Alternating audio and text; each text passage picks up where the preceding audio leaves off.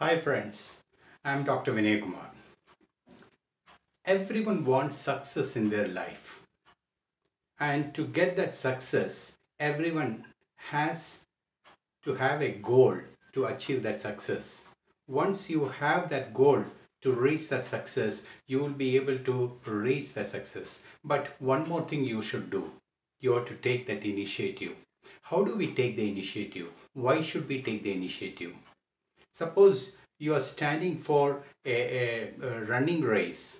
What you have to do first is get ready. Mentally, you should be prepared to run, and you have to stand along with the other competitors to run, and that is the initiative you have to take.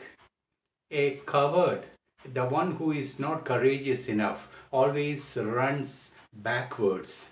He doesn't like to uh, face the new things whereas a man of courage always flees forward in the midst of new things. That's the difference between a man having a courage and the man does not have the courage.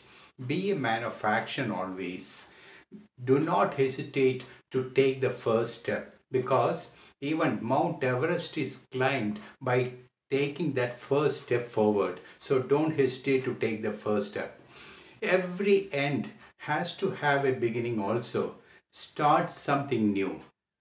The worst enemy for you to take the initiative is lack of courage, maybe a past failure. Try to overcome that.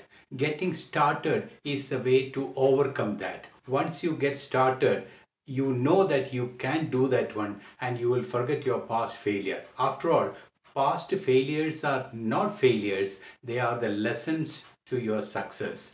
Do today what you plan for tomorrow.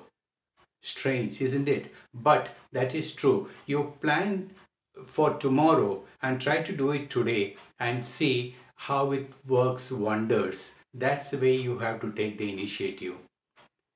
Thank you very much for listening to my video. Have a nice day. God bless you all.